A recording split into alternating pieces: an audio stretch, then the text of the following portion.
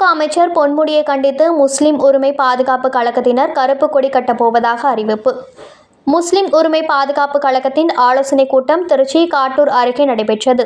இந்த கூட்டத்தில் முஸ்லிம் உரிமை பாதுகாப்பு கழகத்தின் மாநில பொதுச் செயலாளர் இடைமுரசு இஸ்மாயில் கலந்து கொண்டு ஆலோசனைகள் வழங்கினார். அதனைத் தொடர்ந்து பத்திரிகையாளர்கள் சந்திப்பு நடைபெற்றது.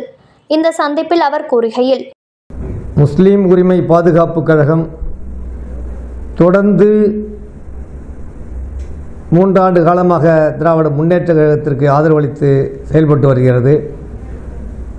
நாடு போட்டும் நல்லாட்சியை புகழ்மிக்க பொற்கால ஆட்சியை வழங்கக்கூடிய மாண்புமிகு முதல்வர் தளபதி மு ஸ்டாலின் அவர்கள் தமிழகத்திலே வாழ்கின்ற சிறுபான்மை சமுதாயமான இஸ்லாமிய கிறிஸ்தவ சமுதாயங்களுக்கு பாதுகாப்பு அரணாக இருந்து நல்லாட்சி நடத்தி வந்து கொண்டு வருகிறார். இந்தியாவிலேயே தமிழகம் அமைதி பூங்காவாக மத நல்லிணக்கமிக்க மாநிலமாக இந்திய அரசியல் சட்டத்தை மதிக்கக்கூடிய போற்றக்கூடிய அருமையான ஒரு மாநிலமாக இன்றைக்கு முதல்வர் ஸ்டாலின் அவர்கள் தலைமையிலே விளங்கி வருகிறது. அந்த வகையிலே தமிழகத்தில் நடைபெறவிருக்கின்ற நாடாளுமன்ற தேர்தலில் திராவிட முன்னேற்றக் கழகம் இந்திய யூனியன் முஸ்லீம் லீக் கட்சிக்கு ஒரு சீட்டை ஒதுக்கியதை வரவேற்கிறோம்.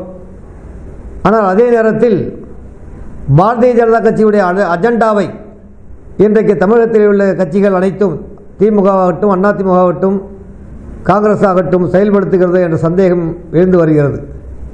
என்னவென்று சொன்னால் நாடாளுமன்ற தேர்தலில் திமுகவோ அதிமுகவோ காங்கிரஸோ எந்த கட்சியும் தங்களுடைய கட்சியிலே ஒரு முஸ்லீமுக்கு கூட சீட்டு ஒதுக்கப்படவில்லை ஒதுக்கவில்லை.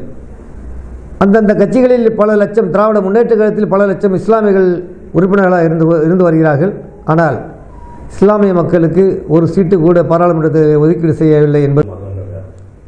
நேற்றைய தினம் விழுப்புரத்திலே நடைபெற்ற இப்தார் நிகழ்ச்சியில் சிறுபான்மை சமுதாயத்தைச் சேர்ந்த செஞ்சி மஸ்தானவர்கள் உரையாற்றி கொண்டிருந்த போது அங்கு வந்த மாண்புமிகு அமைச்சர் பொன்முடி அவர்கள் மஸ்தானிட அவரிடமிருந்து மைக்கை பிடுங்கி உனக்கு என்னையா இந்த மாவட்டத்தில் வேலை போயா வெளியே என்று சொன்னதாக செய்திகள் வந்திருக்கிறது. ஒரு இஸ்லாமிய சமுதாய நிகழ்ச்சியிலே நடக்கக்கூடிய நிகழ்ச்சியிலே கலந்து கொண்ட அந்த அமைச்சர் சிறுபான்மை சமுதாயத்தைச் சேர்ந்தவரை அடிமை மனோபாவத்தோடு அவரை நிறுத்தியா என்று சொல்லு போயா வெளியே என்று சொல்லக்கூடிய ஒரு நிலை மிகவும் கண்டிக்கத்தக்கதாகும். அமைச்சர் பொன்முடி அவர்கள் இது குறித்து பத்திரிகையாளர் முன்னிலையில் பொதுமக்களிடம் இஸ்லாமிய மக்களிடம் மன்னிப்பு கேட்க வேண்டும். அவர் தொடர்ந்து சர்ச்சைக்குரிய வகையிலே தொடர்ந்து பதவியேற்றதில் மந்திரி பதவியேற்றதில் தொடர்ந்து சர்ச்சைக்குரிய வகையிலே பேசிக்கொண்டு திராவிட முன்னேற்ற தலைவர் கழகத் தலைவர் ஸ்டாலின் அவர்களுக்கு சிக்கலை ஏற்படுத்தி வருகிறார். அந்த வகையில் அதுவும் தேர்தல் நேரத்தில் இஸ்லாமிய மக்களுடைய வாக்கு வங்கியை திசை திருப்ப வேண்டும். விழுப்புரத்தைச் சேர்ந்த விடுதலை சிறுத்தை வேட்பாளர் ரவிக்குமாரை தோற்கடிக்க வேண்டும் என்ற எண்ணத்திலே அவர் செயல்பட்டிருப்பது மிகவும் கண்டிக்கத்தக்கதாகும். உடனடியாக அவர் மன்னிப்பு கேட்கவில்லை என்றால் முஸ்லீம் உரிமை பாதுகாப்பு சார்பில் மாநில கொள்கை செயலாளர் வடலூர் பக்ருதீன் மாநில இளைஞரணி தலைவர் கூன்மேடு முஸ்தபா ஆகியோர் தலைமையில் பொன்முடி அவர்களுக்கு கருப்பு கொடியை காட்டும் போராட்டத்தை விழுப்புரத்திலே நடத்துவோம் என்பதை தெரிவித்துக் கொள்கிறேன். முஸ்லீம் உரிமை பாதுகாப்பு கழகம் இந்த தேர்தலிலே தொடர்ந்து பாராளுமன்ற தேர்தலில் திமுக கூட்டணி கட்சிகளுக்கு ஓட்டு சேகரித்து வருகிறது. திருச்சியிலே துரை வைகோ அவர்களுக்கு மாண்பு அமைச்சர் நேரு அமைச்சர் அன்பில் மகேஷ் அவர்கள் சிறப்பான முறையிலே வாக்குகளை சேகரித்து வருகிறார்கள். இந்தியாவிலேயே பெரம்பலூரிலே போட்டியிடுகின்ற அருண் அவர்கள் அதிகப்படியான வாக்கு வித்தியாசத்தில் குறைந்தது ரெண்டு லட்சம் வாக்கு வித்தியாசத்தில் வெற்றி பெறுவார் என்பது நாங்கள் அறிகிறோம்.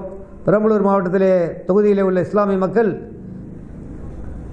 அருண் அவர்களுக்கு உதயசூரியன் சின்னத்தில் வாக்களிக்க தயாராக இருக்கிறார்கள். என்பதை எங்களிடம் கூறினார்கள். நாங்கள் தொடர்ந்து தொகுதி வாரியாக சுற்றுப்பயணம் செய்து வருகிறோம்.